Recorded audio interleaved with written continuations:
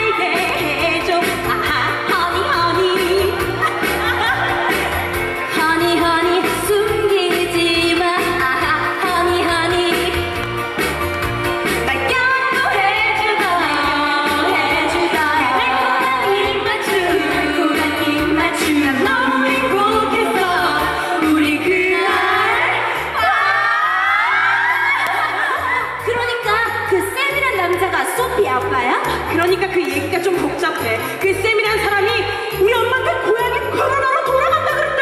어? 개나리! 이런 10cm. 가만히 있어봐. 8월 4일 황호랑 갑니다 나는 그때까지 쌤 때문에 절망에 빠져 있었다. 어. 어.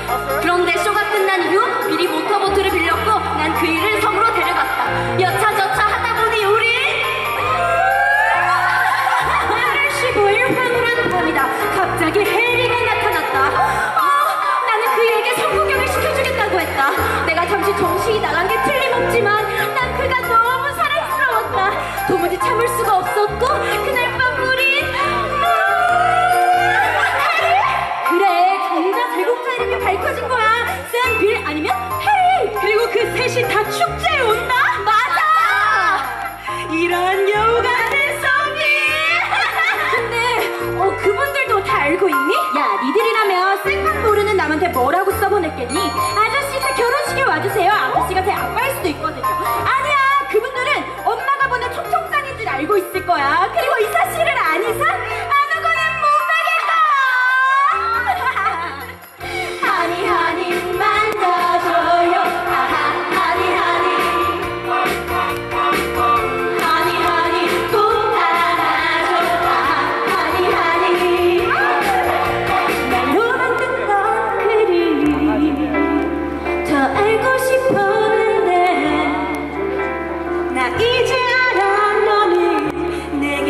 watching